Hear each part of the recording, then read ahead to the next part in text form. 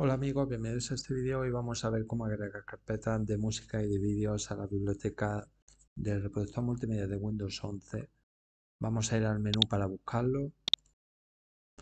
Está aquí, lo abrimos. Vamos a ir inmediatamente a configuración que es la rueda dentada. Directamente nos aparece lo que es ya ubicación de biblioteca de música. Seleccionamos nuestra carpeta para agregar.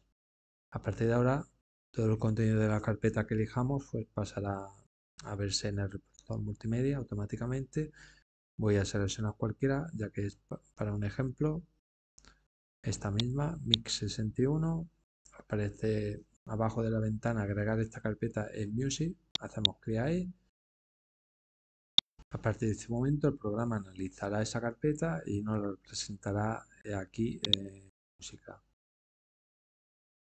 Tardará un poquito también tenemos la opción de agregar directamente desde aquí y con el vídeo pues pasa exactamente lo mismo. Vamos a agregar aquí una carpeta para que aparezcan los vídeos.